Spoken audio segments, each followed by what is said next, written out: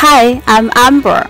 We are Shenyang Gongliang Hydraulic Equipment Company, which is a professional hydraulic factory.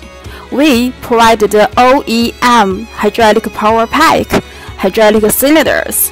If you want to know more, contact me now.